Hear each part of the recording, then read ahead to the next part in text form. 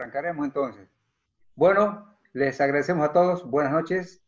Familia, actividad física, deportes. Hoy tenemos una nueva conferencia importante, si bien es cierto, porque tiene mucho que ver con, con el proceso de entrenamiento y de preparación de los atletas que luego tienen que competir eh, en el fútbol. Para esta noche tenemos a Leandro Villariño, que sin lugar a dudas es un profesional conocido porque hemos estado asistiendo a diferentes eventos y sin lugar, eh, hemos podido apreciar de su alta capacidad científica y técnica y los grandes conocimientos que tiene en, en lo que a las nuevas tendencias del entrenamiento concierne. Él estudió en la Universidad Nacional de la, de la Matanza, en la carrera de licenciatura en Educación Física, por lo tanto tiene una licenciatura en el contexto. En el plano laboral, académicamente hablando, ha sido docente, instructor en diferentes entidades, universidades, eh, que tienen que ver con desarrollo de relaciones humanas especializados en el contexto de la actividad física, el deporte y también eh, de forma clara y precisa en el fútbol. Eh, habría que decir, por otra parte, que en el plano laboral él trabajó en diferentes clubes de Bolivia, Argentina y otros contextos también dentro de Sudamérica.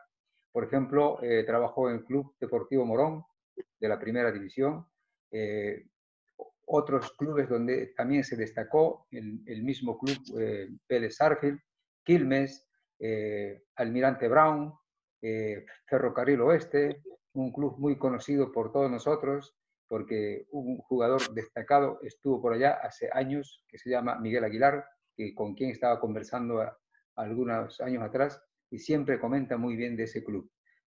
seguramente tiene algunas características que la diferencian respecto a otros clubes. Luego estuvo 2018 eh, en Blooming, ahí donde estaba aplicando diferentes instrumentos y también hemos tenido la oportunidad de leer, algunos artículos científicos que él construyó. Y bueno, pues para este año está previsto que, tiene que, tendría que estar ya en la altura trabajando con Die Stronger. Es otro club importante. Por lo tanto, eh, Leandro, te agradecemos por aceptar la invitación y ojalá esta noche sea agradable y grato para todos nosotros y así podemos compartir e intercambiar ideas, informaciones que de una u otra forma eh, nos puedan alimentar para luego esos conocimientos poderlos aplicar en el campo laboral.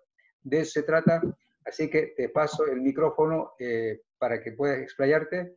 Una vez más, muchas gracias por Bueno, muchísimas gracias, muchísimas gracias Juan por la presentación es un gusto para mí poder estar presente y, aportar desde, desde donde, desde un lugar de, por ahí haber tenido esa posibilidad de, aplicar la tecnología, que todos sabemos que la, tecnología es muy costosa y, muchas veces no, está al alcance. Eh, entonces creo que es bueno esto, eh, ya que tuve la posibilidad de, de, utilizarla, aplicarla, eh, poder compartirla con, la gente que tal vez al, momento nunca pudo, nunca pudo ver de qué se trata este mundo que es tan, tan lindo. Eh, la realidad yo lo que pienso sobre la tecnología que tiene que ser una herramienta que me, que me brinde información válida y que me permita eh, orientar los procesos de entrenamiento, y, tener presente más que nada si lo que uno propone como, como, profesor, como preparador físico, está direccionado hacia esa mejora que nosotros queremos conseguir. Entonces, me pareció, cuando Juan me propuso esta temática, me pareció interesante, más allá de que tal vez muchos nunca hayan tenido la posibilidad de tener un GPS, me pareció bueno esto de aportarles algunos datos, eh, producto de mi intervención en, campo con este tipo de tecnología. Así que desde ya agradecido Juan y a todos ustedes por escucharme y bueno, esperemos eh, poder sacarle provecho a todo esto. Eh, como mencionó Juan, la idea es hablar un poco de la macroestructura de una pretemporada de fútbol profesional. O sea, estamos hablando ya de un deporte profesional en donde tenemos que ya focalizarnos en donde tenemos al jugador disponible ¿sí? para hacer las intervenciones que nosotros consideremos eh, que son las adecuadas. Por lo tanto, esto dista mucho de lo que es el deporte amateur, ¿no? O, o semiprofesional. Entonces, bueno, ya poniendo un poquito el contexto este, decimos que el mayor interrogante que siempre se nos presenta es cuánto, cuánto nosotros tenemos que trabajar ¿sí? en este periodo ¿sí? Para lograr esas mejoras que nosotros queremos conseguir. El cuánto en una pretemporada es la pregunta que siempre me hacen la mayoría de los profes. ¿Qué volumen de entrenamiento? ¿Qué volumen de intensidad? Bien, eso es lo que yo les voy a presentar desde una propuesta personal, es una propuesta mía, producto de dos años de intervención, producto de cuatro pretemporadas, en donde producto de cuatro pretemporadas monitoreadas, en donde en función de eso yo saqué mis conclusiones, ¿sí? De qué sería lo más efectivo en cuanto a volúmenes, en cuanto a intensidades, ¿sí? Para conseguir lo que yo busqué desde ese momento que me planteé el inicio de, un, de un periodo de trabajo. Tenemos que entender que cada pretemporada, cada contexto, cada plantel, cada cuerpo técnico es un mundo, ¿sí? Por lo tanto, yo lo que voy a brindar son lineamientos, ¿sí? lineamientos que a cualquier profesional de los que está trabajando en fútbol profesional eh, puede llegar a tomar y a adaptar en función de su, de su, de su equipo, de su, de su club ¿sí? y de su realidad eh, eh, dentro de su plantel que, que comande. Y acá cito una frase de Gustavo Metral, que es un fisiólogo argentino que trabaja muchísimo con tecnología, su mujer es biomecánica, eh, es un tipo que está formado eh, en muchas, eh, en, el área biológica, está muy, muy, muy, muy, muy empapado. y él dice que pensar en la pretemporada se realiza una base física para todo el año de competencia es solo una expresión de deseo que no complica solo el rendimiento físico, sino que pone en riesgo la salud de ese jugador. ¿sí? Eh, ¿Qué quiere decir con esto? Que nosotros con la pretemporada no vamos a hacer esa famosa base que después nos va a sostener todo el año en la intensidad que nosotros queremos. La pretemporada es parte importante dentro de un proceso de entrenamiento. ¿sí? Es algo importante ¿sí? pero no creamos que es lo más importante. Generalmente a los jugadores de fútbol en esos periodos nosotros los tenemos asiduos a recibir tareas ¿sí? que quieren recibir, que quieren hacer, que no se quieren perder una sesión, ¿sí? cuando muchas veces nosotros tenemos que tener el criterio y el sentido común y acercarnos a ese jugador y si hay alguna molestia, si hay alguna sobrecarga, porque en un plantel con muchas individualidades estas cosas pueden pasar, la adaptación es distinta a las tareas que se proponen en todos los jugadores. Entonces, concientizarlo de que muchas veces es mejor perder una sesión, dos sesiones, ¿sí? que esa pretemporada nos va a servir, pero que después lo que va a servir y lo que nos va a sostener es lo que hagamos nosotros durante toda la temporada. Los estímulos que propongamos, la cantidad de competiciones que me toque a mí como jugador, ¿sí? Competir, salir, eh, salir al campo de juego. Lo que más entreno y más ritmo da es esa competencia misma. El jugador cuando empieza a competir, empieza a ganar ese estado de forma, ¿sí? que no te lo da ningún otro tipo de actividad, por mejor diseñada que esté. Entonces, ahí hay un desafío también. Nosotros los, los profesionales, eh, cuando tenemos jugadores que no compiten, ¿qué tipo de tareas dosificamos? ¿sí? Entonces, bueno, ya vimos eh, un poquito de esta parte introductoria, eh, tenemos que tener presente que siempre se nos van a presentar distintos escenarios para, para poder intervenir. Un escenario puede ser llevar como nuevo profe a un plantel y desconocer el nivel del grupo, ¿sí? Y tener que empezar a intervenir. Ahí hay que tener mucha cautela, ¿sí? Ir muy en forma progresiva, teniendo mucho diálogo con los jugadores, tratando de, de recibir un buen feedback de lo que hacían, para ver cómo ir progresivamente a introducir nuestra forma de entrenamiento. Otro escenario es llegar a una liga desconocida y no conocer la idiosincrasia del futbolista, sus hábitos, costumbres de entrenamiento. Bien, a mí me pasó venir de Argentina eh, para la liga boliviana y encontrarme con que los desayunos son completamente distintos ¿sí? a lo que son los desayunos de allá. Allá te desayunan una, una galleta con un poco de queso y mermelada, acá eso prácticamente no lo desayuna ninguno. ¿Sí? el desayuno va por otro lado, entonces uno tiene que tratar de, administrar los tipos de alimentos dentro de sus costumbres, pero lo más sano y nutritivo posible para la sesión que van a realizar. Eh, la liga desconocida también me va a llevar a, no conocer eh, el, ritmo de juego, eh, variables que tengan que ver con, intensidades dentro de esa competencia. Ahora vamos a ver en otro diapo cómo varían los patrones conductuales entre liga y liga. pero bueno, eso es importante saber y tratar de recopilar datos de las ligas, ¿sí? cuando me toca ir a una liga que no conozco. Tener conocimiento pormenorizado del plantel, producto de venir eh, de un proceso deportivo anterior, ese puede ser otro, escenario. Terminé mi año, sigo como cuerpo técnico, vuelvo a intervenir y ya tengo todos los datos viejos, sé quién, a quién le cuesta tal tarea, a quién no, tengo evaluaciones, bien, ya partís con información importante. No tener conocimiento del plantel, pero sí la liga, es un paso importante, esto es lo que me estaría pasando a mí hoy en día en mi llegada a Stronger, ya conozco las condiciones de altura, conozco el ritmo de juego porque tengo datos, ¿sí? pero no conozco el plantel, conozco dos, tres jugadores de ese plantel. Llegar como PF a un nuevo plantel y recibir información del cuerpo técnico saliente o por la gerencia deportiva que cuente datos de equipo a nivel institucional. Esto es lo que a mí me encantaría que suceda, ¿sí? pero no pasa. Yo armé un sinfín de informes, generé base de datos de todo lo que se les ocurra evaluaciones físicas, evaluaciones de rendimiento en competencia, antecedentes de lesiones de los jugadores, y al momento de irme nadie me pidió un solo dato, porque obviamente, bueno, el fútbol tiene otras cosas, generalmente cuando uno se va, eh, muchas veces en clubes te dejan deudas, muchas veces en clubes te dejan, eh, no, te dan, no, te, dan la cara al momento de, de no renovar un contrato, entonces ¿cómo te van a pedir esa información que uno generó? Yo no tengo problema nunca en compartirla, de hecho he pedido que se compren computadoras, instalar todo en computadoras y que sea información de los de, institucional. Pero eso no, no, pasa y no me pasó ningún club de todos los que estuve, de todos los que mencionó, Juan, en ninguno me pasó. Me fui con mi información a mi casa. Por lo tanto, viene un cuerpo técnico y parte de cero.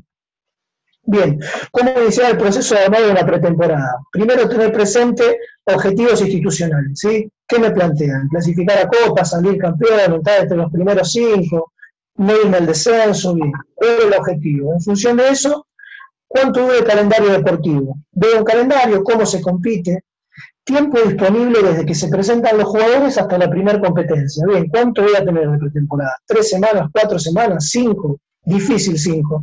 En el fútbol boliviano, todas las que me tocó hacer, no tuve más de cuatro semanas de preparación. He tenido tres, cuatro como máximo. Metodología de trabajo del cuerpo técnico, sí, saber qué quiere mi técnico, cómo trabaja para ver hacia dónde oriento el entrenamiento de esa pretemporada. Información de la liga en la que se compite, condición climatológica, viaje, equipos, perfil de rendimiento de la competencia, lo que les mencionaba antes, condiciones de altitud, continuidad de esas competencias, fecha FIFA, entre otros. Si estás en club de primera división, una fecha FIFA te permite ¿sí? un estímulo de entrenamiento importante para el resto de los jugadores, ¿sí? porque vas a saber que vas a tener una semana donde no compiten y podés hacer refuerzos de carga física si es que lo consideran necesario. Y la continuidad de la competencia yo la considero clave, porque si se compite, como me ha pasado acá en el fútbol boliviano, domingo, miércoles, domingo, jueves, siempre por algún problema o, tema gremial que se hace paro, se empieza tarde. El año pasado el paro cívico se termina compitiendo muy seguido. Entonces eso también es importante saber cómo se compite, si se va a competir una vez por semana o dos veces por semana. ¿Qué número de plantilla, qué número de jugadores voy a tener en la plantilla? Infraestructura y materiales con los que voy a contar, para mí es importantísimo saber la logística ¿sí? de lo que voy a tener para en función de eso también eh, programar y planificar, y cómo llegan los jugadores del periodo transitorio, eso es clave. ¿sí? Si bien hay que darle unas semanas para que el jugador se desconecte, para que el jugador cargue nuevamente energía, ¿sí? el de los niveles de testosterona, cortisol, ¿sí? Eh, producto del estrés que genera la competencia, ¿sí? Pero tengo que darle algunas tareas previas a ese inicio de la pretemporada, porque si no la van a sufrir y estoy más cerca, ¿sí? de un riesgo de lesión en esos primeros días. ¿sí? Más de, se recomienda no más de tres o cuatro semanas ¿sí? de, corte de, entrenamiento sistematizado. ¿sí? Eso obviamente también va mucho de la mano en lo que el profe programe para ese periodo transitorio. Entonces esto es muy importante también. Los distintos contextos, para que prestemos atención, pongo dos ejemplos. Acá tenemos un ejemplo de la Superliga Argentina, que terminó de competir el 12 de diciembre y reinició eh, la competencia el 24 de enero. Fíjense, 12 de diciembre deja de competir, 24 de enero empieza a competir. Y los jugadores acá tienen vacaciones de diciembre a enero. Cuando retornan en promedio, los clubes retornaron el 2 de enero. Vélez en ese momento inició el 27 de diciembre, que tuvo unos líos con los jugadores porque los que habían viajado extranjero no se volvían, o fueron más líos que, beneficios, porque en definitiva entrenaron 27, 28, 29, después cortaron 30, 31 y primero y volvieron el 2. Entonces hay que ver cuánto sentido tiene eso en, lo que puede generar con ese futbolista en esos dos o tres días y, en el malestar general que se genera en el grupo. Entonces, a nivel general fue, 2 de enero volvieron, compitieron el 24 de enero, por lo tanto tuvieron 22 días para preparar la primer competencia. ¿sí? Y la Liga Española, sabemos que el, calendario es distinto, ¿sí? finalizó el torneo el 18 de mayo, inició el 16 de agosto, los clubes retornaron promedio el 8 de julio y vuelven a competir el 17 de agosto. Miren, prácticamente duplican los días que tienen de preparación previa a esa primera competencia. ¿sí? Y acá, por ejemplo, pongo un caso particular del Real Madrid, el Barcelona hizo lo mismo. Pero el Real Madrid, miren cómo, cómo recorrieron kilómetros viajando durante esa pretemporada. Disputó siete amistosos previos desde el 20 de julio al 11 de agosto en Estados Unidos, Alemania e Italia. La cantidad de kilómetros que viajaron, ¿sí? Porque hicieron Canadá, base de pretemporada, competencia en Estados Unidos, dos, tres competencias, se fueron a Alemania, jugaron un torneo, se fueron a Italia, jugaron una serie de amistosos, volvieron a Estados Unidos para después sacarle a competir. En definitiva, ¿cuánto tiempo me lleva eso de viaje y me saca de, horas de entrenamiento o de descanso del entrenamiento? Ahora, miren esto, lo que les mencionaba con cuestión a la logística, por lo importante que es para una pretemporada. ¿Sí? Acá, en el torneo español, eh, Messi ¿sí? Eh, menciona que la pretemporada no ha ayudado. ¿sí? Eh, en realidad, esto lo dice Piqué, que producto de una lesión de Messi, ¿sí? él dice que la pretemporada no los ayudó. ¿Por qué? Porque tuvieron muchísimos kilómetros de viaje entre Asia y América y menciona 37.313 kilómetros en 28 días. Esto está sacado de fuentes de diarios españoles y obvio que Messi ¿sí? Eh, no viajó a esos partidos. ¿sí? Pero ¿qué pasó? Se lesionó a la vuelta de las vacaciones, tuvo la mala suerte, pero ¿qué hacen? ¿Qué, ¿Cuál es la tendencia? Hacer causa-efecto. Porque viajamos mucho, pasó esto. ¿sí? Entonces, nosotros tenemos que tener cuidado como preparadores físicos de ese tipo de cosas y tratar de, de que si somos los conductores de este grupo y tenemos que armar esta logística, tratar de evitarlo. Sabemos que en España ¿sí? ingresa muchísima plata en Europa por todo este tipo de amistosos, o sea, la, pretemporada para ellos tendría un, índole eh, económico, un ingreso económico altísimo. Entonces ellos también lo ven desde ese lado, porque después hay que bancar las plantillas que tienen. Entonces yo considero la pretemporada como un gran momento para que el preparador físico y el cuerpo técnico no se le escape nada. ¿sí? Porque cualquier circunstancia negativa pasará factura, tenga o no tenga nada que ver con lo que se realizó. Acá miren, esta es mi tesis de licenciatura, ¿sí? dos años de estudio en el fútbol argentino en primera división, eh, analizaba eh, el, rival, el, equipo mío y analizaba el rival con un sistema de traqueo por medio de cámaras, ¿sí? de lentes ópticos. Y lo que podía obtener son datos de los dos equipos, ver cómo se comparaba la prestación física de mi equipo contra la del equipo rival. Para ganar mi tesis de la licenciatura, ¿qué hice? Armé una gran base de datos con todos los equipos del fútbol argentino de esos dos años y todos los jugadores y procesé datos por puesto. Bueno, acá, si ustedes tienen que ir a trabajar al fútbol argentino, ya tienen una referencia para conocer un poco los perfiles de rendimiento promedio, ¿sí? Del defensor central, del lateral, del volante central, del volante externo, del ofensivo y del delantero, ¿sí? Esto es, cuánto corren en volumen total, cuánto corren a alta intensidad, un dato que me interesa y mucho, y cuánto cuánto corre en sprint. El más menos corresponde a, puede ser 285 más 119 o 285 menos 119. Esos son los, desvíos, ¿sí? Cómo se mueve esa media, el 285 para arriba o para abajo según el puesto, obviamente eh, cómo juega el técnico. Bien, acá miren, logré hacer una comparación, esto lo hice a fin del 2018, por ahí podría actualizar este cuadrito y ya serían distintos los números, pero no, no van a variar mucho. ¿sí?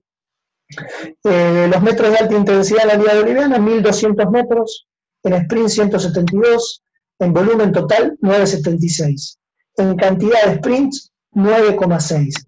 Para entrar en contexto, 1200 metros a alta intensidad quiere decir que el jugador corre a más de 16 kilómetros por hora. En sprint es que el jugador corre a más de 24 kilómetros por hora. El metro de volumen total quiere decir cuánto recorrió en los 90 minutos y en cantidad de sprint quiere decir cuántas veces el jugador se movió arriba de 24 kilómetros por hora y sostuvo ese gesto un segundo. Si alcanzó 24 kilómetros por hora y no lo sostuvo un segundo, no se considera una acción de sprint. Ahora, si alcanzó 24 kilómetros por hora y lo sostiene un segundo, dos segundos, tres segundos, ya se considera una sprint. Así se lee este cuadro. Como pueden ver, la Superliga Argentina es la que presenta mayor intensidad, mayor sprint, mayor volumen y mayor cantidad de acciones. ¿sí? Bien, consideraciones relevantes en la pretemporada. ¿sí? Hay muchas variantes que pueden incidir en, la frecuencia de lesiones y tienen, un vínculo entre ellas. Para poder reducirlas tenemos que, conocer estos factores que menciona Coles. ¿sí? y se controlar el incremento gradual de las cargas para adaptar a los jugadores a un nivel similar a lo que serán exigidos a la competición, evitando exposición de picos muy agresivos de carga para reducir riesgos en este periodo. ¿Qué quiero decir? Si yo tengo acá, por ejemplo, es lo mismo, entrenar ¿sí? a un volante central o un volante externo, ¿sí? en volumen, que corre 2.300 metros en partido, que a un central que debe hacerle correr eso por entrenamiento sería ¿sí? una mala dosificación de carga y no apuntar a la especificidad. Comprobar que el jugador es capaz de utilizar sus capacidades en el juego en forma segura y eficiente. Trabajo sobre la motricidad y la capacidad de movimiento en los primeros días del retorno a la actividad. Primeros días del retorno a la actividad, cuando empiezo la pretemporada, ¿sí? movilidad articular, ¿sí? trabajar sobre los patrones de la marcha, reeducar esos patrones, no ponerlo a hacer fútbol ese primer día, es una locura someterlo a ese tipo de esfuerzo. Y en forma progresiva, ¿sí? Diseños de planes individuales apuntados a la prevención, teniendo presente antecedentes de los sujetos, déficits asociados a movilidad, estabilidad, control motor, habilidades motoras específicas y fuerza en los futbolistas. ¿sí? Todo esto, todo lo que yo menciono acá son todas cosas que yo hago, ¿sí? no son cosas que, que se mencionan y después no se hacen.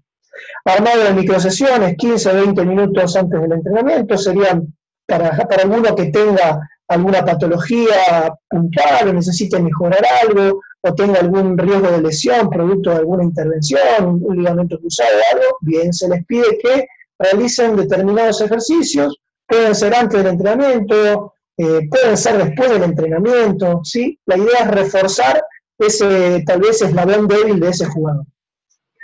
Criterios para nuestros entrenamientos. Progresión, ¿sí? Esto, como profe, seguramente ya lo conocen. Periodización, cargas progresivas en periodos que permitan lograr adaptaciones deseadas, ¿sí? Un estímulo de una carga no me va a significar que ya me adapté si no se sostiene en el tiempo.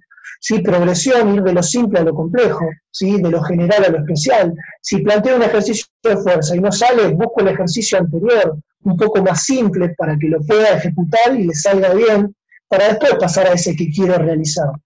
Individualización, control pormenorizado del volumen, intensidad, densidad de las tareas, ¿sí? Eh, o ejercicios dentro de las sesiones, apuntado a capacidades individuales, producto de evaluaciones y requerimientos específicos por puesto. Para esto hay datos de referencia, ¿sí? ya empiezo a conocer, yo acá pude hacer los míos de referencias por puestos para el fútbol boliviano. Variabilidad y adaptación de la carga de trabajo, tener presente que la frecuencia de entrenamientos y cualquier modificación en volumen, estas tres variables son importantísimas. Cualquier cosa que modifique en volumen, intensidad o densidad va a generar un cambio a esa carga de entrenamiento que estoy planteando. ¿sí? Por lo tanto, va a modificar esa percepción que tiene el sujeto a la tarea que yo le planteo. Entonces, eh, tener presente esto antes de generar grandes cambios, grandes cambios, que cualquier modificación de estas cositas que dije, volumen, intensidad y densidad, va a hacer que la carga ya se sienta distinta. A la hora de intervenir, establecer prioridades. ¿Por qué digo esto? El fútbol profesional no tiene tiempos, no te da tiempo, ¿sí? Perdiste tres partidos, estás afuera. Pero sí conoces resultados. Por eso yo planteo que dentro de un plantel vamos a tener distintos tipos de realidades. Vamos a tener jugadores que están en el plantel para empezar a sumar roce, y experiencia profesional. Por lo tanto, con esos chicos ¿sí? voy a tener muchísimo tiempo para hacer eh, progresiones estables de tipo metodológicas en donde yo pueda enseñar un, ejercicio, eh, que ese chico se adapte a ese ejercicio y darle una progresión más lenta de lo que estoy haciendo, o tal vez trabajar periodos de fuerza con ese chico, que generalmente no se hace, fuerzas más vinculadas a la fuerza maximal, que no se hace porque no podés estimular a jugar en fuerza máxima, ¿sí? cuando después te tiene que competir el fin de semana, por, el, por, por, el, por, lo que te deja eh, en sensación muscular ese tipo de entrenamiento y que le vas a perder esa capacidad de frescura del jugador para esa competencia. Pero sí puedes hacerlo, ¿sí? con chicos juveniles que se van sumando al plantel, reforzar eh, con trabajos eh, en doble turno, ¿sí? acá está Ferrufino, que lo tuve en Blooming, él estaba citado obligatoriamente los dos días de concentración y trabajaba la parte de fuerza conmigo aparte. Eh, bueno, esas cosas, los chicos, los juveniles, te dan muchísimo más tiempo ¿sí? para intervenir. A los jugadores profesionales que necesitas tener para el domingo, ya en etapas competitivas, necesitas darle el ejercicio que mejor les, salga, mejor ejecuten y que más los optimice. Bien, en el inicio de pretemporada, ¿qué es lo que se hace? ¿Sí? Un relevamiento de antecedentes de lesiones, ¿sí? que se pide al área médica para saber con qué me encuentro, control antropométrico, área médica y área nutricional, ¿sí? evaluaciones funcionales, que generalmente yo las hago en conjunto con el kinesiólogo, ejercicios derivados del, FMS, análisis funcional del movimiento, eh, bien, empezamos a detectar eh, eslabones débiles en esos sujetos y después empezar a atacarlos, si es fuerza, si es estabilidad, si es falta de movilidad. Evaluaciones médicas que corresponden al cuerpo médico, tiene que ver con todo el laboratorio y todo ese tipo de evaluaciones que se necesitan previo a, la competencia del alto rendimiento. Generalmente se hacen eh, una al año, o por ahí nosotros hacíamos a principio de año y a mitad de año. Y evaluaciones de rendimiento que tengan que ver con fuerza, resistencia y velocidad. La macroestructura de la pretemporada, acá viene por ahí lo, bien interesante, ¿sí? Esto es una propuesta que yo hago, ¿sí? Que no está en ningún lado, pero a mí me, me, resultó interesante hacerla producto de, de la cantidad de datos que tengo y las conclusiones que uno va sacando. Esto es un criterio decisional que yo tomo, ¿sí? Yo tomo y pienso que tenemos que preparar en este contexto, el contexto del fútbol de Bolivia, al futbolista el desarrollo de sus capacidades físico-técnicas, teniendo en cuenta diferencias individuales para la competencia basada en el peor escenario volumen competitivo dentro de un microciclo. ¿Esto qué quiere decir? Presten atención. Si entendemos esto, entendemos todo lo que viene. Yo hablo de peor escenario volumen, ¿sí? Peor escenario volumen competitivo dentro de un microciclo. Toda esta frase va entera. ¿Y por qué les digo? Porque acá en Bolivia van a competir generalmente dos veces por semana. Si compiten dos veces por semana, ¿sí? la carga de competencia es altísima. Y aparte van a tener días en el medio en donde además de recuperar, vuelven a entrenar. Entonces yo, ¿qué es lo que hago? Trato de optimizar a mi jugador pensando en esos volúmenes que después el jugador va a tener que soportar cuando inicie la competencia, ¿sí? Para que los pueda tolerar de la mejor manera y pueda llegar a esas competencias en su mejor forma física posible. Entonces, ¿yo qué es lo que hice? ¿sí? Eh, tomé como referencia las dos competencias, ¿sí? dos competencias, dos promedios generales que tengo de competencia, y cómo son los días previos a esas dos competencias. ¿sí? Tomé una semana modelo, o varias, en definitiva, varias semanas modelo que tuve así, y fui analizando los efectos de lo que íbamos haciendo eh, cuando competíamos dos veces y cómo era visualmente y con datos de GPS la prestación física de los jugadores en esa competencia. Producto de esas semanas, que yo las llamaba semanas efectivas o semanas saludables, ¿por qué? Porque veíamos que no había jugadores lesionados ante dos competencias seguidas, veíamos que el jugador remitía que llegaba bien a competir. Bien, entonces ese volumen de esa semana o de promedio de todas esas semanas que tuve de ese tipo, ¿sí? los procesé y bien lo que les presento ahora después de esta diapo. ¿sí? Acá tenemos, eh, pensando una pretemporada de cuatro semanas, la primera semana hago foco en volumen, fuerza, y un poco menos, ya llegando al fin de la semana, en la alta intensidad mediante tareas continuas variables, intervalados y reducidos, ¿sí? en espacios menores a 100 metros cuadrados de interacción individual por jugador. En la semana 2 hago foco en volumen nuevamente, pero ya le doy más importancia a la alta intensidad, sigue teniendo eh, protagonismo la fuerza, pero empiezo a introducir algunas acciones de sprint. ¿sí? Fíjense que en la primera semana el sprint es un gesto muy agresivo, trato de sprint no se replique. ¿sí? ¿Cómo lo trabajo? Todo esto mediante intervalados, mediante intermitentes, mediante reducidos de resistencia ya en espacios más amplios, ¿sí? y con la introducción de algunos esfuerzos repetidos de alta intensidad. La tercera semana hago foco en el sprint, trabajo en la fuerza, trabajo en la alta intensidad y empiezo a disminuir el volumen trabajos de sprint, de reserva, intermitentes, de rondos, reducidos mixtos, ¿sí? El rondo siempre está presente, ¿sí? Pero acá es como que toma un poco más de protagonismo. Y en la cuarta semana, ¿sí? Semanas tipo competencia. Acá yo ya me digo, ¿cómo son mis semanas cuando voy a competir o cómo quiero que sean? para que esta cuarta semana lleve esa línea de entrenamiento. Y le doy mucha importancia a la fuerza ¿sí? y a la alta intensidad. Esto, fuerza y alta intensidad y sprint, es lo que voy a sostener yo durante todo el campeonato. ¿sí? Siempre estimulo fuerza, alta intensidad y sprint. Fuerza, resistencia y velocidad. Fuerza, alta intensidad, resistencia, sprint, velocidad. ¿sí? Y lo manejo mediante sprint, rondos y reducidos mixtos. ¿sí? Los drills técnicos, acá menciono que los introduzco desde el día 1. Esto es lo que yo les, decía. Peor escenario de volumen dentro del microciclo. ¿Qué quiere decir? Que compito dos días, y que aparte entreno cinco, o sea, los siete días de la semana están ocupados.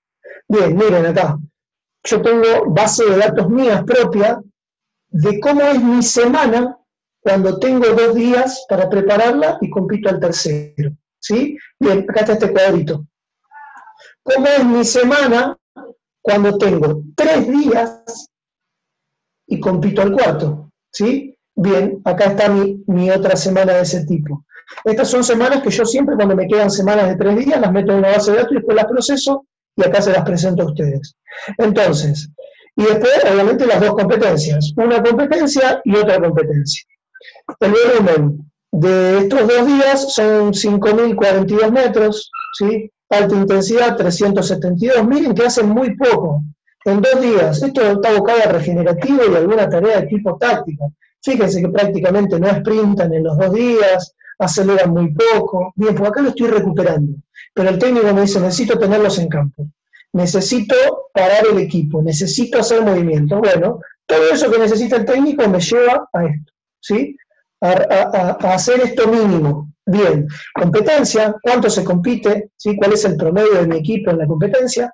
9.074 metros, el promedio de los 90 minutos alta intensidad promedio, digamos, de todos los jugadores. ¿sí? Estamos hablando acá siempre promedio del equipo. De alta intensidad, 1245, de sprint 198, de aceleraciones 17, RHIE quiere decir esfuerzos repetidos de alta intensidad, 36. Les explico un poquito estas variables. Miren, volumen ya dijimos que era, alta intensidad dijimos que era arriba de 16 kilómetros por hora, sprint dijimos que era arriba de 24, ACC significa aceleraciones, ¿sí? Aceleraciones de alta intensidad. Son aceleraciones donde el jugador rompe su máxima velocidad, ¿sí? En un tramo de entre 5 y 10 metros. Bien, ahí eso es una aceleración. Promedio, hay jugadores que te realizan, por ejemplo, 45, ¿sí? Ahí tenemos en, la charla, Juan te realiza muchísimas de estas, ¿sí? Es un, jugador muy, muy, muy, explosivo, muy potente, muy rápido, bien, pero esto está armado a nivel equipo. ¿Por qué? Porque yo después voy a tomar, voy a controlar a nivel equipo, pero mediante un método integrado de entrenamiento, en donde hay todas las tareas, o la mayoría de las tareas en periodos competitivos o en este tipo de semanas cortas, van en base al, sistema de juego. Por lo tanto, el defensor central es defensor central, el volante por afuera es volante por fuera, el delantero es delantero. Entonces, si yo respeto esas posiciones en las tareas que planteo o esas funciones en los reducidos, o sea, no pongo un defensor central en un reducido de delantero, sigue jugando defensor, bien, la misma tarea va adaptando eh, las demandas del deporte, que después es lo que va a pasar en, en competición. Entonces, por eso yo trabajo a nivel grupal si tuviera un dispositivo GPS para cada uno de los jugadores, controlaría directamente individual. Pero como no está esa posibilidad, es muy difícil. Eh, yo tenía 19 GPS para un plantel de 36, ¿sí? Eh, que buscar la manera y mi manera fue esta, mirar a nivel grupal y siempre manejarme a nivel grupal. Esos son criterios de intervención. Bien, entonces miren esto, presten atención que de acá sale todo, si yo sumo todos estos volúmenes, todas estas altas intensidades, todos estos metros de sprint, toda esta cantidad de aceleraciones y todas estas acciones repetidas de alta intensidad, me da esto. Esto es todo lo que acumulé. 32 kilómetros casi semanal, miren qué alto esto. 3.800 metros de alta intensidad, 500 metros de sprint, 79 aceleraciones, 113 acciones repetidas de alta intensidad. Bien, ¿qué hago con ese dato, con esto que les mostré acá abajo? Bien, trato de programar eh, la pretemporada en función de ese peor escenario. Entonces, parto de un volumen del 140% de eso que quiero entrenar, en donde se va a incrementar la segunda semana, ¿sí? en donde va a disminuir la tercera, y en donde va a disminuir prácticamente por completo a niveles después competitivos de una vez por semana, ¿sí? En, el último microciclo, que ya es el, de descarga, el preparatorio para esa primera competencia. En la alta intensidad, 175, 192, fíjense cómo crece esta segunda semana, vuelve a bajar 129%, ¿sí? y 66%. Y en la, eh, en la variable de sprint, miren, primera semana prácticamente muy poco, 17%, segunda semana el 77% de ese volumen que hablamos, miren la tercera semana 157%, siempre trato de impactar ¿sí? en la variable que yo quiero en torno al 150-160% como para desarrollarla. ¿sí? Y el micro de descarga ¿sí? vuelve a bajar al 45%. Y acá están los volúmenes, ¿sí? si quiero mirar el número. Miren el número, digo, bien, en la primera semana tengo que programar 45, 46 kilómetros totales. De alta intensidad, 6.700 a 6.800.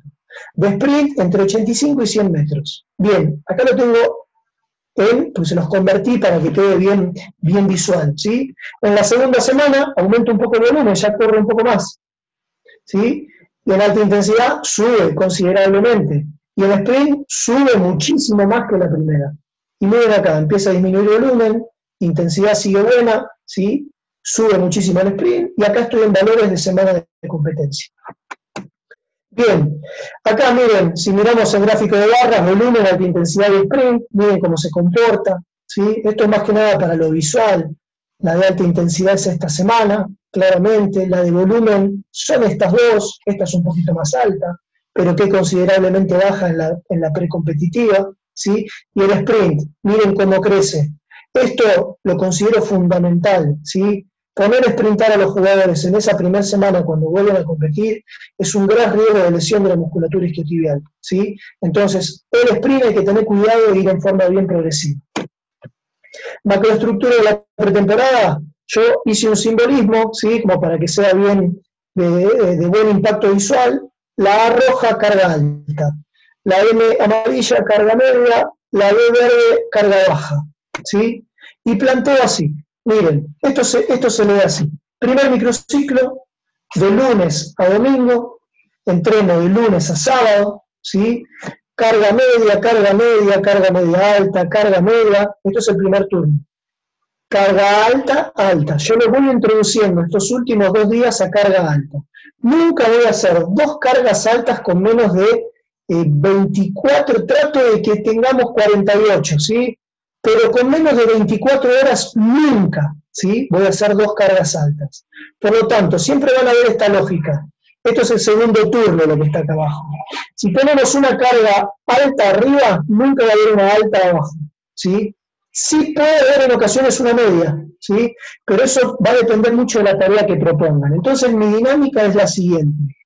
Lunes a sábado entreno en la primera semana, estoy abocado mucho a las evaluaciones, ¿sí? Miren estos segundos turnos, son todos carga baja, porque acá en estos segundos turnos, para mostrar qué es lo que se hace, son cargas en donde trabajan solamente drills técnicos de muy baja intensidad, pero para que empiecen a tocar la pelota.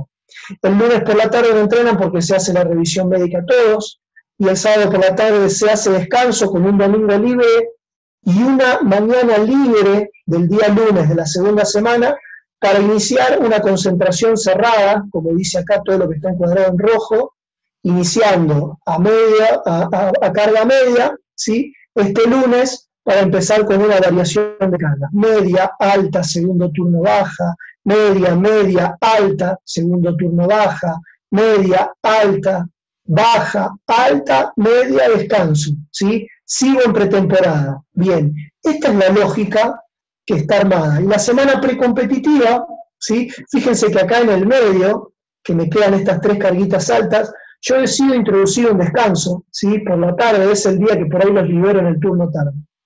Fíjense acá, carga media, media alta, alta. Estos son los dos días que se llaman dentro de la periodización táctica días de adquisición. ¿sí? Carga media lunes, generalmente trabajo la fuerza, ¿sí? Martes, resistencia. Miércoles, apuntado a la velocidad.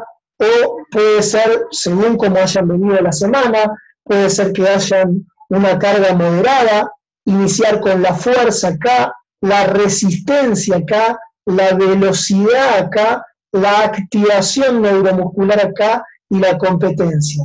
Bien, esta semana va a depender de cómo la diseñen ustedes. Pero hay varios tipos de planificación según los modelos que utilicen de entrenamiento que me van a llevar a ordenar esta semana precompetitiva. Pero la idea es trabajar esta semana como después voy a competir. ¿sí? La correcta recuperación es la que permite la adaptación fenotípica, la disminución de la fatiga y el incremento del rendimiento físico no matarlos por matarlos. Bien, acá lo que les dejo es una propuesta de lo que realmente se hizo, no es más que lo que se hizo, ¿sí? Eh, primer semana, turno mañana, les, se los menciono a grandes rasgos, ¿sí?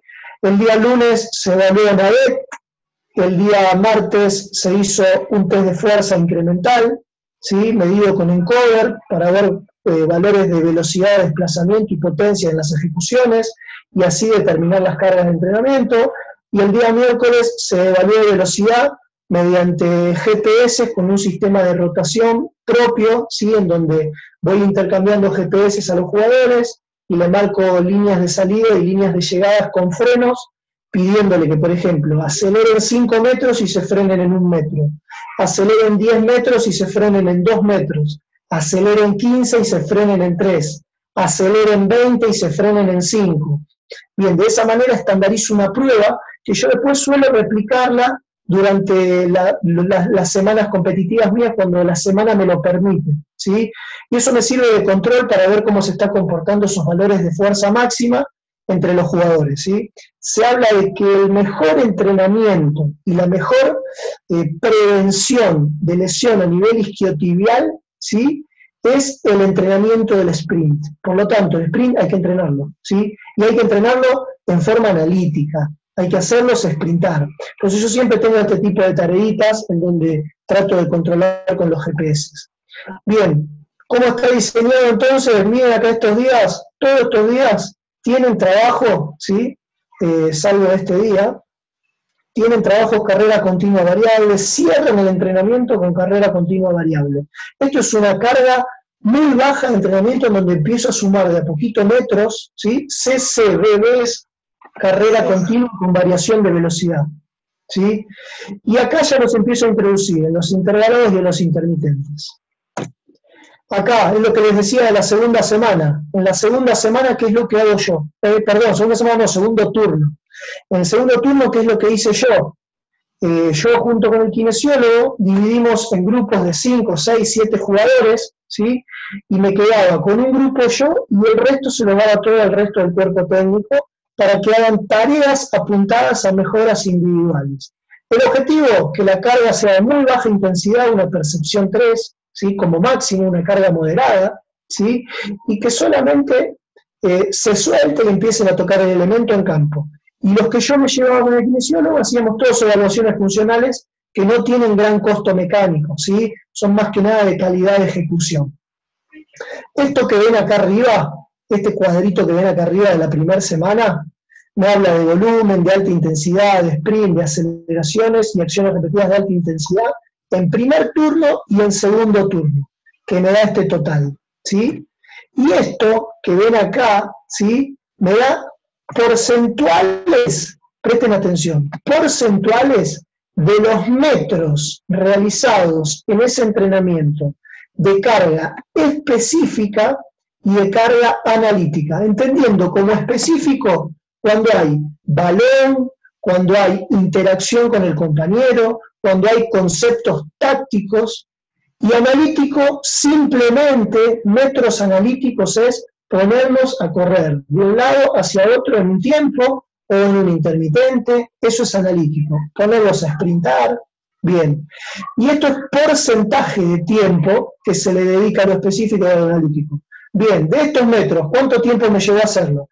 El 55% de los minutos que se entrenó en todo ese microciclo. Bien, y el de analítico, el 45% de lo que se invirtió. En lo analítico no solamente entran los metros, ¿eh? en lo analítico entran los trabajos de fuerza, que el jugador no se desplaza, ¿sí? pero me lleva 40 minutos, 45 minutos en la sesión de fuerza. Bien, todo lo que ven acá abajo es el detalle ¿sí? de volumen, alta intensidad, sprint, aceleraciones y acciones repetidas de alta intensidad que hicieron en la sesión. ¿sí? Está detallado y abajo son los minutos que duró la sesión, por ejemplo, la sesión de la tarde. ¿sí? Y acá, por ejemplo, las sesiones de la mañana. Por lo tanto, está bien marcado cómo fueron dos turnos completamente distintos. Segundo microciclo, bien, sigue la misma estructura, pero yo empiezo a trabajar así, miren no vamos a detallar en cada, después van a tener esto para que lo analicen ustedes, ¿sí? Pero miren, un día de fuerza, un día de resistencia. Un día de fuerza, un día de resistencia. Un día de fuerza, un día de resistencia, un día de fuerza, ¿sí? Y descanso por la tarde, ¿sí? Miren, la fuerza acá me interesa desarrollar. Y lo importante acá es entender un concepto que menciona González Vadillo, un, autor de, de entrenamiento de fuerza, que dice que entrenar al jugador en fuerza lo podemos entrenar si queremos todos los días. El tema es el carácter del esfuerzo. Y el carácter del esfuerzo eh, es qué cantidad de repeticiones le pedís a ese jugador cuando entrena. El jugador de fútbol tiene que entrenar a carácter de esfuerzos medios y bajos. Eso quiere decir que realice, eh, si puede hacer 12 eh, repeticiones, que realice entre 7 y 8. Si puede hacer 12 repeticiones, que realice 6 o 5. Esos son carácter de esfuerzos medios o bajos. Carácter de esfuerzo alto es, puede hacer 12, que haga 11, que haga 10. ¿sí? Ahí no tiene que entrenar el jugador de fútbol. A no ser que lo que quiera mejorar sea la fuerza en valores maximales, que en el fútbol, como explicamos, por ahí los periodos tan cortos no nos permiten impactar ahí. Les aseguro, porque lo monitoreo, lo controlo, que trabajando a carácter de esfuerzo medio y bajo, cuando se mueven a máxima velocidad de ejecución, tocan la zona de potencia y mejoran indirectamente la fuerza máxima. ¿sí? Por lo tanto, ese tipo de entrenamiento, cuando entreno a carácter de esfuerzo medio-bajo, nunca a carácter maximal, me permite que a las 24 horas el jugador esté recuperado de esa sesión de fuerza. Esto no, lo digo yo por decir, más allá de que yo lo apoyo con datos, esto lo menciona, búsquenlo, eh, González Vadillo, Juan González Vadillo, un autor español, que publicó hace poquito un libro de entrenamiento de fuerza controlado eh, por medio del control de la velocidad de ejecución. ¿sí? Hoy en día la fuerza va por ahí. ¿sí? Los que trabajan en fútbol, fuerza por velocidad de ejecución. Lo lento y controlado no es optimizador, no sirve. Velocidad de ejecución. Sirve para fijar un movimiento, aprender una técnica. Bien, y por la tarde, miren, eh, generalmente se introducen las, eh, las, tareas tácticas y en función de lo que se hizo a la mañana, ¿sí? se va regulando todo esto. Táctico de baja carga, táctico de carga media alta, táctico de baja carga y, crioterapia, ¿sí? fútbol formal, se hizo en, tres periodos contra la reserva, ¿sí? y acá eh, un metabólico, ¿por qué? Porque se les va a dar libre esta tarde. Acá seguimos con la dinámica, resistencia, fuerza, resistencia, fuerza, velocidad. Empiezo a introducir sesiones de velocidad, sprint, resistencia. Miren acá, presten atención, ya empiezo a bajar el volumen de series. Si ustedes miran acá, en la segunda semana y en la primera, trabajábamos en 12 series. Eso ya sería poder para otra charla de cómo las armo yo. Yo armo series compuestas, enlazadas de ejercicios. Acá tenemos 12 series compuestas. Miren acá, ya empezamos a trabajar la fuerza explosiva en menos series, seis series, en nueve series, ¿sí? Empezamos a trabajar menos. Y por la tarde, fíjense, táctico baja intensidad, trabajos de RCA acíclico, ¿sí? Trabajos de RCA acíclico con definición, RCA es repetición de los sprints, eh, a las acciones de sprint, acciones intensas, táctico de baja intensidad. ¿sí? Acá tenemos otra vez otro partido, 50 minutos. Acá este lunes de la tercera semana tenemos unos 60 minutos de fútbol, ¿sí? dos partidos versus reserva. Nosotros puntualmente, con el cuerpo técnico que estábamos de, Erwin Sánchez, no nos gustaba hacer amistosos contra otros equipos porque siempre terminaban, terminan mal. ¿sí? Y acá, por ejemplo, este día se decidió darle un día, una tarde de descanso, donde pueden ir a hacerse masajes, hacer hielo, se pone a disposición el hielo. Se cierra la concentración sábado, se da libre domingo, se vuelve el lunes y se empieza a trabajar ¿sí? en lo que sería la semana tipo. Esto es lo que yo les mencionaba antes, ¿sí? Semana tipo, miren, protocolo de fuerza de tren superior, ¿sí? Generalmente el tren superior, acá, como ven, tratamos de poner la pretemporada en los días tarde, acá estamos en el segundo microciclo. Por la tarde tratamos de hacer estímulos de tren superior. ¿sí? Perdonen que vaya y vuelva, pero no me quiero ir de tiempo tampoco. Eh, acá, por ejemplo, este día lunes, como se reintegran después de la pretemporada, fue una pretemporada bastante exigente y necesitamos descargar, bien, entendemos que tenemos que ir por una carga moderada, ¿sí? una carga media, Tren superior, ya todo con balón, ya lo analítico lo dejamos afuera, solamente queda sesión de fuerza. Este día martes y miércoles dijimos que eran los días de adquisición y lo catalogamos como fuerza, resistencia, velocidad, dentro de lo que sería la periodización, los conceptos de la periodización táctica. ¿sí? Fíjense, fuerza explosiva otra vez, volumen bajo de series, ¿sí? trato de, de predominar lo horizontal por medio, por ejemplo, de trineos, de tensores. Bien. Este día, día de resistencia, ¿sí? Eh, trabajo en reducidos en espacios bien amplios. Acá se hace una carguita de fútbol formal y se estimula la velocidad, lo que les mencionaba, salidas de 10, 15 y 20 metros. ¿sí? Y acá se hace algún juego y un trabajo táctico previo a la competición. Y acá el detalle de lo que realizan los jugadores no citados una activación, un rondo en juego de tres equipos, un reducido en espacio bien grande en cuatro bloques por ocho minutos, ¿sí? Eh, y un intermitente final. Esto es lo que hicieran este día los jugadores previo a esa primera competencia. Bien, y por la tarde ya vemos que acá, si alguno de los últimos que se incorpora, ¿sí? porque por ahí pueden ir incorporando su jugador, necesita hacer alguna tarea aparte, ¿sí? se hace por la tarde, ¿sí? Y los días estos que yo vi de, los chicos que, se citaban para hacer los planes individuales, como por ejemplo los juveniles, ¿sí? realizaban esa tarea por la tarde. Y acá miren, esto es lo que les mostré en la primera diapositiva. Micro 1, primer turno, segundo turno, qué volumen hace, y cómo se comporta con respecto a la especificidad de la tarea en cuanto a los metros y en cuanto al tiempo invertido. Miren acá, interesante. ¿Cuántas sesiones fueron en el micro 1? 10. ¿Cuántos minutos totales? 832. Fíjense que el segundo micro es el micro de más cantidad de sesiones y más tiempo total de entrenamiento. Y después baja a 10 sesiones y después baja a 5 sesiones. Bien, esto para que lo miren después, lo pueden mirar tranquilos.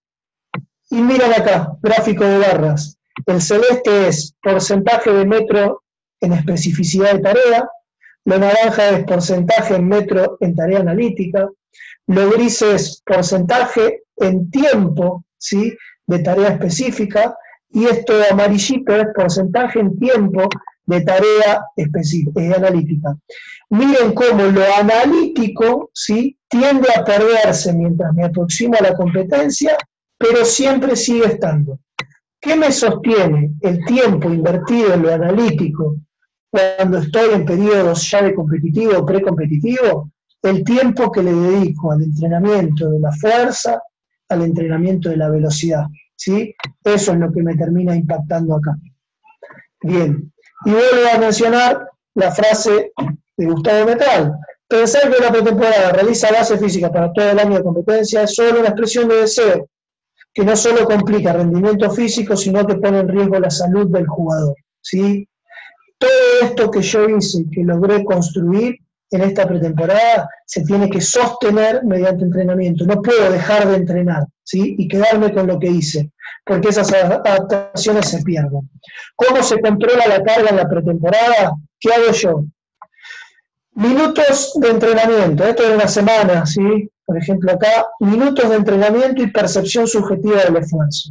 Cada jugador termina el entrenamiento según la tarea que realizó, son los minutos y la percepción es cuánto le costó. Eso me da unidades arbitrarias. ¿Qué es lo que es una unidad arbitraria? Es un número que va a salir de los minutos que duran la sesión por la percepción subjetiva del esfuerzo. De 0 al 10, ¿cuánto te costó? 3. 3 que es moderado. 5 que es pesado, 10 que es extremadamente pesado, 7 que es muy pesado. Bien, según lo que te remite el jugador, que son sensaciones de ellos, ¿sí? Sale una sumatoria, ¿sí? sale una sumatoria acá. Perdón, acá no. Esto, esto, esto, es la sumatoria de este día. ¿sí? Esto es la sumatoria de este día. ¿sí? Acá lo que sale es lo siguiente sale la sumatoria de la semana. Esto es, focalícense acá porque por ahí ven muchos números difíciles, pero no es tan difícil. Esto es micro 1 de pretemporada, 10 sesiones, lo que mencionamos antes. Micro 2, 12 sesiones. Micro 3, 10 sesiones. Micro 4, 6 sesiones más la competencia. ¿sí? Miren acá, tenemos 4.920 unidades arbitrarias promedio del equipo. ¿Qué quiere decir eso? Que sume todos los días de entrenamiento, ¿sí? Que me dio cada jugador de los que completan las sesiones, ¿sí? Se suman y te da un número, ¿sí? Ese número de la pretemporada, miren el primero, 4920. El segundo microciclo, 5252, 5252. Piensen que acá están doble turnos, ¿eh? son 12 sesiones. Y mire cómo baja la competencia.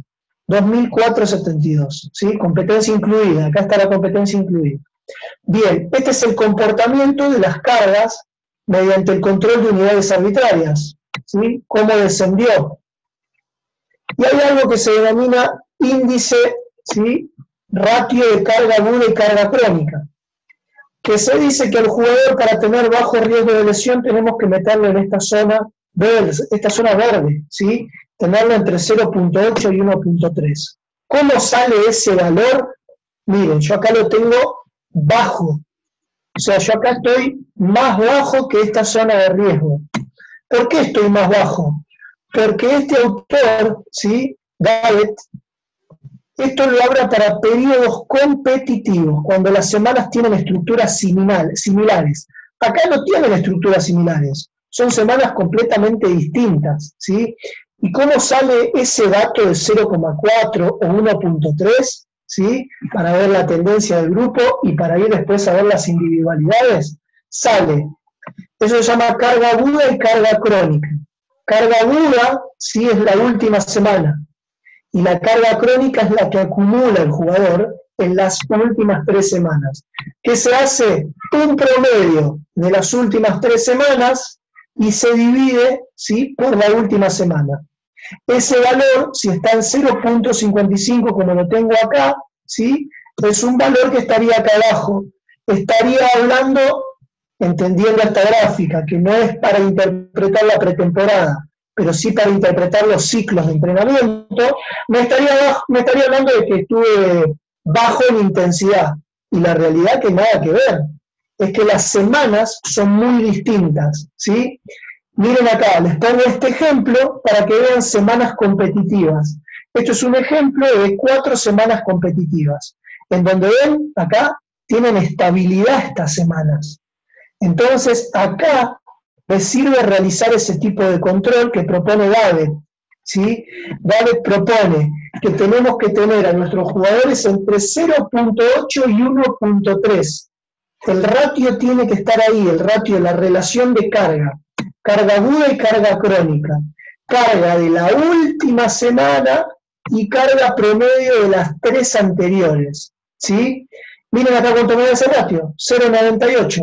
Entonces, esto es la referencia que les pongo para que vean esa diferencia cuando comparan y cuando aplican algo que está armado para una estructura y le quieren dar valor eh, en algo que, que rompe esa estructura de semanas, eh, de semanas comunes. Esto es una pretemporada comparada con un, con un microciclo competitivo, ¿sí? Pero bueno, está armado así, Gareth lo propone así, que se tienen que tener en cuenta las cuatro últimas semanas.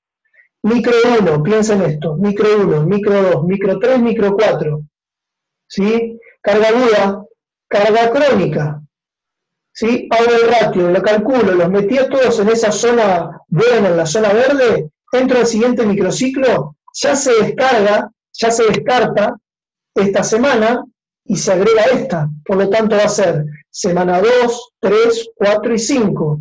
Por lo tanto, hago el promedio de esta y esta se divide por este promedio. Así se calcula. Pero es más que nada un dato para que vean cómo, cómo controlé yo este tipo de pretemporadas y, y cómo controlo después mis semanas de entrenamiento. Y después, ¿qué evaluaciones yo utilizo para determinar las características físicas del grupo? Bien, evalúo yo siempre NAVET, el curso. Es un test incremental, lo conocen seguramente, pero hay otras opciones. El UNCA test es un test muy bueno, el SHOSHO test, el 30-15 Intermittent Fitness Test es un test nuevo, ¿sí? Eh, el test de mil metros. Bien, evalúo fuerza de tren superior con algún ejercicio de empuje y tracción, ¿sí? generalmente una dominada, un press plano, Evalúo tren inferior, ¿sí? algún dominante cadera, dominante de rodilla. Generalmente siempre la sentadilla la, la evalúo con encoder, siempre para después determinar carga de entrenamiento. Salto como un dato de control, ¿sí? me gusta tenerlo. ¿sí? Y después velocidad, aceleración, y se puede evaluar agilidad y capacidad de repetir sprint, que últimamente no lo estoy evaluando. Mucho tiempo evalué gestos de agilidad prediseñados, mucho tiempo evalué RSA, después me di cuenta que esta evaluación no la aplicaba en nada y me quedaba como un dato y dejé de hacerlo. Yo trato de evaluar lo que después utilizo para dosificar. Por lo tanto, la velocidad de la aceleración la sigo evaluando porque lo considero valores importantísimos para programar y para ver avances e impacto, e impacto de las cargas que yo eh, propongo. Bien, espero haber sido claro, sé que es un tema complejo para darlo así tan rápido, eh, pero bueno, yo siempre quedo abierto ahí a las consultas, el que quiera, ahí tiene mis redes sociales, me pregunta y yo siempre contesto, así que no, no va a haber ningún problema, de hecho será, será un gusto. Y acá lo cierro con una frase, el proceso de conocimiento se encuentra unido sin dudas a la actividad práctica.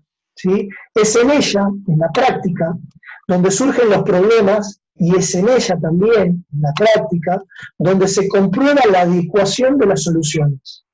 Las acciones prácticas basadas en el conocimiento, ¿sí? en la ciencia, refutan, confirman o complementan a esta. ¿sí?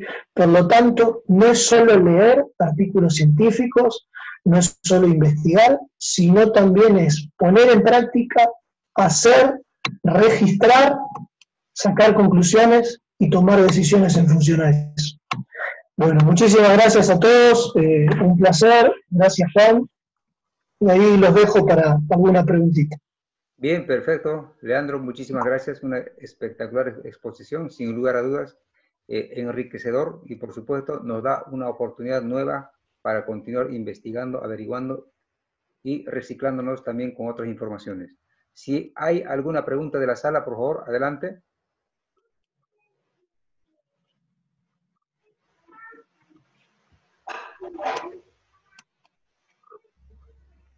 Bien, una pregunta, Leandro. En, el hipotético caso de aplicar este plan de trabajo en la altura, ¿qué podría modificarse? Eh, para implementar esto en la altura, yo considero que lo que primero tenemos que hacer es ver con qué jugadores nos encontramos, si están adaptados o no. Segundo, ¿qué es lo que haría yo? Eh, empezaría a trabajar sobre la densidad de las tareas que propongo. Por ejemplo, acá yo tengo una propuesta siempre que cuando trabajo la resistencia, mediante juegos reducidos, mi trabajo de resistencia se basa en relaciones trabajo-pausa 1, 1-5, 1-6. O sea, cada 6 minutos de trabajo recién voy a descansar uno. Si yo me voy a la altura a trabajar, mis, eh, mis, densidades van a ser mayores. Tal vez sean 1-7, 1-8, 1-4, 1-5. ¿sí? Ya empiezo a descansar un poco más. Si de seis minutos de trabajo yo le doy un minuto de pausa, ahora en seis minutos de trabajo te doy dos. O achico el bloque. En vez de seis, le doy cinco, le doy cuatro y medio. Y te doy un minuto de pausa. Por ejemplo, para la resistencia. Yo creo que tenemos que, eh, en la altura, hay que tener muy presente eso, la densidad de la tarea. Para mí es la clave. Y bueno, ahora voy a tener la posibilidad de hacerlo. Dios quiera se pueda monitorear también y ver cómo impactan estos reducidos que yo planteaba y las densidades que yo consigo en los reducidos planteados en el llano, si realmente se sostienen en la altura. Y si yo veo que no se sostienen, voy a tener directamente que atacar a esto, achicar el bloque y aumentar la pausa. Oh, perfecto. ¿Y cuál es la opinión que tiene respecto a aquellos entrenadores que de una u otra forma están en, contra del método analítico? Eh, yo creo que eh, hay que ver el por qué están en contra del método analítico. Yo creo que nosotros como profesionales eh, y, como profesor de educación física tenemos que defender las tareas analíticas. Porque nosotros sabemos que las tareas analíticas son optimizadoras del rendimiento. Y tarea analítica es entrenar la fuerza. Y tarea analítica es entrenar la velocidad. No solo pensar lo analítico como correr. Hoy en día nosotros encontramos que trabajando por ejemplo, con tareas integradas de reducidos, con buenas consignas, mm. trabajás a intensidades altísimas, similares o hasta mejores que poner a correr al jugador en forma lineal. Pero para lograr eso, tenés que afinar el, ojo, afinar la programación de esa tarea, tener un grupo receptivo que, que, se entregue a esa tarea, que viva esa tarea, porque si no vas a tener jugadores que van a entrenarse con el reducido y jugadores que no. Generalmente el jugador con más riqueza técnica resuelve un toque no se mueve nunca y nunca genera un estrés fisiológico importante con esa tarea de campo. Yo creo que lo que nos da, lo que nos permite la tarea de campo integrada, ¿sí? reducido, por ejemplo, apuntada a la mejora de resistencia, es trabajar todo. El aspecto cognitivo, la resolución, la toma de decisión, la parte física, pero tiene que estar bien diseñado. Y yo para mí, la tarea analítica apoyada en el entrenamiento de fuerza y en el entrenamiento de velocidad, la capacidad de acelerar, el cambiar de dirección, el frenar, esa es una tarea que la tenemos que defender siempre. ¿sí? Y, no puede faltar, porque está comprobado ¿sí? que eso es optimizador del rendimiento. Cristiano Ronaldo entrega la velocidad desde partida de, partida de tacos de atletismo. ¿Por qué? Porque el tipo ahí trabaja el empuje de fuerza horizontal. Entonces, lo hace Cristiano Ronaldo. Después cuando lo vemos a Cristiano Ronaldo, todos decimos, no, porque Cristiano Ronaldo es un atleta. ¿Y qué no querés tener atleta en tu equipo? Entrenar la velocidad, entrenar la fuerza, buscar la especificidad en esa tarea. Tenemos un montón de cosas los profes para defender lo que hacemos. Yo el entrenamiento de la fuerza, de la aceleración, de la velocidad, no lo negocio, tiene que estar. ¿Sí? Ahora vos me decís, tenés un grupo súper receptivo, en donde tus tareas de campo, ¿sí? cuando vos querés pegar en la parte metabólica, responden y tal vez ahí lo discutimos, no hace falta ponerlo a correr. Bien, perfecto. Hay una pregunta de la sala que dice, esta es una pregunta mortal. Si evalúas la capacidad de aceleración, por ejemplo, ¿cómo procedes a dosificar los volúmenes en un microciclo? Bien, yo, yo la capacidad de aceleración para saber el sujeto en determinada cantidad de metros qué tipo de aceleración me consigue. Por ejemplo, eh, el sujeto en 5 metros le alcanza para alcanzar los 2 metros por segundo cuadrado. ¿sí? Si el sujeto hace eso, eh, ya tengo eh, un dato cuantitativo de, que el sujeto lo consigue. Si el sujeto en 5 metros todavía no logra acelerar a 2 y está por debajo, bien, ahí ya tengo una referencia de que sujeto A lo consigue, sujeto B no lo consigue. Después yo planifico para mejorar esa aceleración. ¿Y qué, cómo, cómo mejoro la aceleración? Trabajando la fuerza en, la, en el vector horizontal. Entonces, cuando plantee mis sesiones de fuerza, trataré de que el jugador haga fuerza contra el suelo para desplazarse hacia adelante. Nosotros tenemos la tendencia en planificar todo en el eje vertical, en el vector vertical, ¿sí? empujar hacia arriba, que no está mal, está bien, pero tenemos que pensar que tenemos que empujar hacia adelante. Entonces, cuando yo quiero mejorar esa capacidad de aceleración, hago foco en la fuerza, en el patrón acelerativo, en que el sujeto, el jugador, sepa empujar hacia adelante. ¿Y cómo distribuyo esa aceleración durante, durante el eh, avanza la pretemporada? En función de los datos que mostré.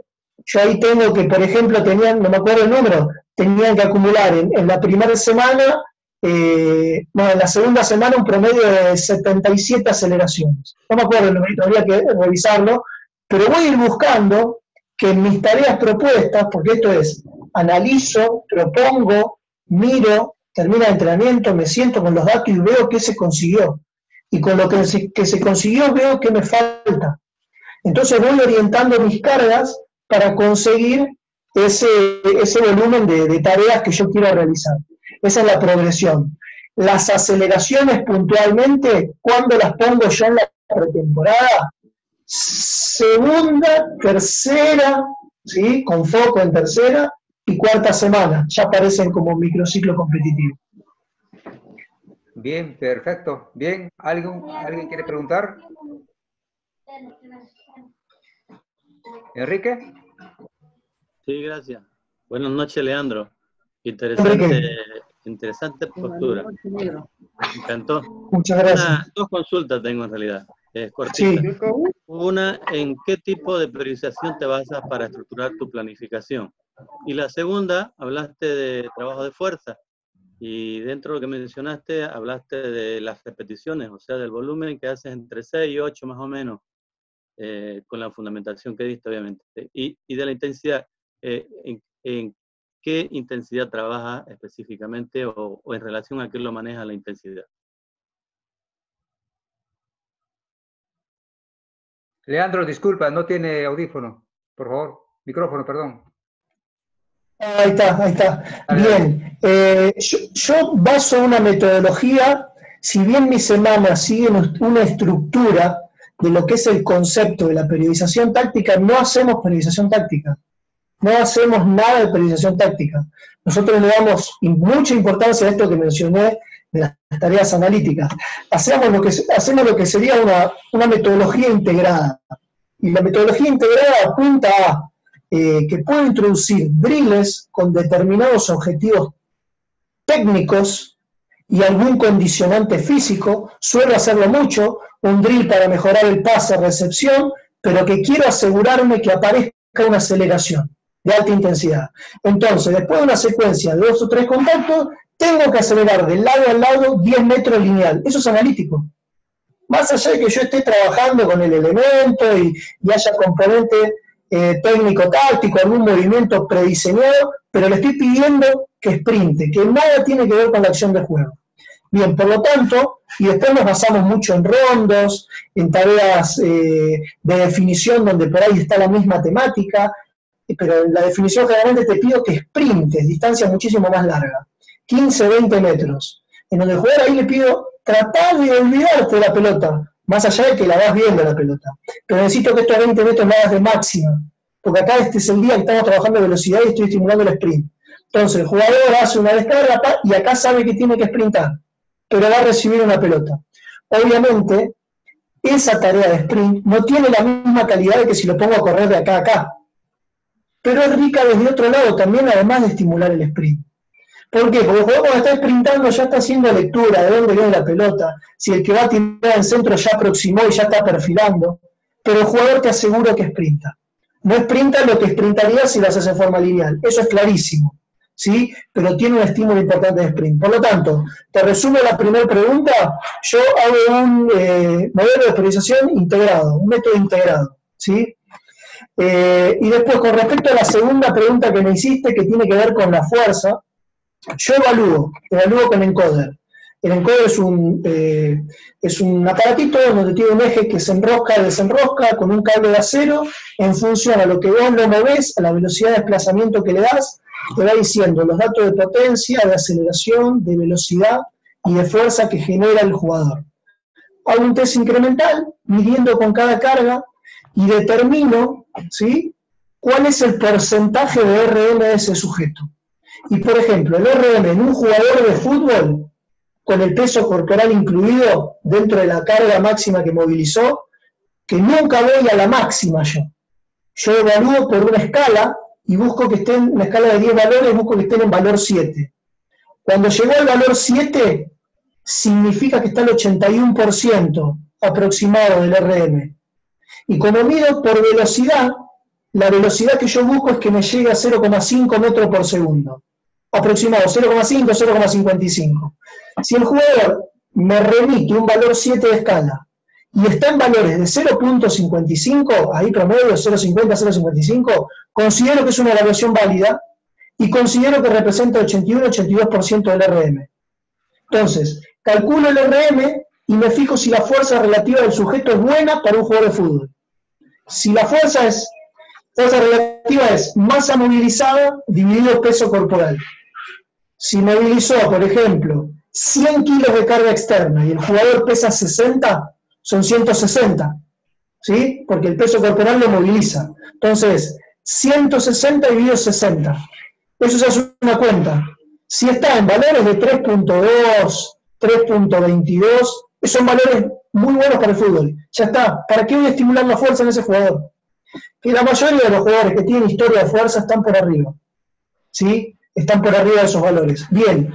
Entonces, ¿qué hago? Jugador que necesita fuerza, trabajo en la curva de fuerza-velocidad, más cercano a la zona de fuerza, en zona de potencia, con porcentajes entre el 70, 75, 60% del RM, y los jugadores que están en buen nivel de fuerza relativa, ¿sí? de, 3, de ese 3.2 que te dije para arriba, trabajo solamente potencia y explosividad. Entonces ahí dosifico las cargas. Y estas son cargas muy normales en jugadores de fútbol. Carga de 40 kilos, ¿sí? yo lo utilizo mucho, barra más 10 y 10, carga de 60 kilos, carga de 80 kilos, y a veces alguna carga de 85, ¿sí? 90 kilos, ¿sí? Pero ahí estamos, 40, 60, 80 seguro, esos tres pesos tenés para trabajar las sentadillas, ¿no? Estamos hablando de un ejercicio. Y después cuando dosifico y armo mi tarea de entrenamiento, digo, eh, Juan Ferrufino tiene que ir con 80, tal tiene que ir con tanto, tal tiene que ir con tanto, y armo grupos homogéneos para no tener que andar cargando y descargando la barra yo tengo una dinámica que es interesante de armado de la sesión para dosificar las cargas e individualizar las zonas que busco. Entonces, ahí vuelvo al carácter del esfuerzo. A los que tienen más carga, le digo, quiero carácter de esfuerzo medio bajo. O sea, nunca tenés que estar cerca del fallo muscular. ¿Cuántas repeticiones? Hacete entre 5, 6 y 7. Yo soy en esa carga, las hacen y están haciendo más o menos la mitad de las posibles. Listo, carácter de esfuerzo medio. ¿Sí? Y para los de la explosividad, le digo, acepte entre 8 y 12, como vos te sientas cómodo. Como tiene una carga tan ligera, ¿sí? una carga liviana que la moderan, capaz que esa carga estás en 18, ¿sí? 20, ¿sí? pero no quiero nunca el fallo. Sigo a esos porcentajes que te digo, ese carácter de esfuerzo medio y bajo. Pero a todos, al de la carga pesada, mediana o liviana, les pido máxima velocidad de ejecución. Perfecto. Bueno, Leandro, muchísimas gracias por compartir tus conocimientos y tus competencias laborales. Ha sido un grandísimo placer. Eh, esperemos contar contigo en otro momento, en otra conferencia tal vez, sobre otros temas relacionados a nuestra área disciplinar. Sin lugar a dudas, eh, seguro que hay muchas otras preguntas del auditorio, pero también el tiempo juega, juega su papel en este contexto. Por lo tanto, una vez más, muchísimas gracias, Leandro. Gracias, jóvenes, a todos ustedes por estar acá. Eh, mañana tenemos otra conferencia a las 7. Muchísimas gracias. Será hasta otro momento. Gracias, jóvenes. Muchas gracias a todos. Un chao, chao, gracias. Cuídense, por favor. Cuídense. Chao, Juan. Dale, dale. Chao, Leandro. Gracias.